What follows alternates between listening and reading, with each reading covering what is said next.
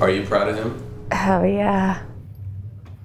Trish Dawson knew something was wrong. She hadn't heard from her husband in too long. Jeff Dawson was injured in Afghanistan and nearly lost his life. Now he's fighting to overcome his injuries. 10 News reporter Bobby Lewis is on the road in Tampa where a soldier plans to recover and hopes our iconic bridge can help him do it. Pain is now part of Jeff Dawson's daily routine. No, this sucks. A reminder he's still alive. When we were dating, he used to make a joke that he had the safest job in the military. And I didn't realize until later on, I'm like, you lied. Through my chest, I fractured my clavicle, my second and third rib. A gunshot wound left him millimeters from death. Spinal shock. And miles uh, from normal. Mainly, I'm just focused on uh, getting back to where I, I want to be. He's made incredible progress, doing really, really well. Jeff spends nearly every day at the James A. Haley VA. So I'm going to give him a little resistance. Working with therapists with a big goal in mind. I mean, I might not finish it with the allotted time, but I'm walking that bridge. The Skyway Bridge awaits Jeff. He'll try to cross it on March 1st in the Skyway 10K, a goal he knows is a long shot.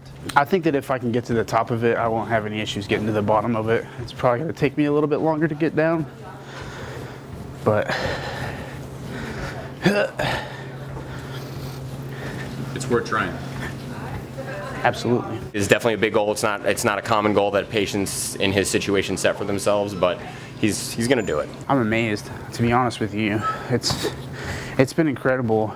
I mean, I think it's incredible what the what the human body is capable of. The once slumping soldier started by standing, then striding. Take a breather. Each step a new milestone. Those trials that you go through end up making you the person you are and you grow. You grow a substantial amount from it. Sometimes you're gonna fail.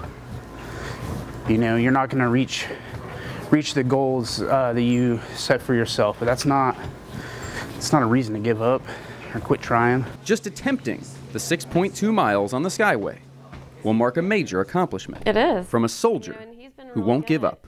Setting his goals through everything and then meeting those goals and then exceeding him. I mean, I think he's kind of blown everybody out of the water with his progression and how fast it's been. Don't you love how the physical therapist said most patients don't do this? He's he's not most patients. No, he's not, not most people at all. He's the reason that we're supporting this race and yeah. why we're going to be out there March 1st. And why we love it so much. Yeah. These are the oh best stories. Gosh, he's one of many. Yeah, Jeff was shot in Afghanistan on July 20th of 2019. This was not that long ago. He was flown to Germany before surgery for surgery before returning here to the states.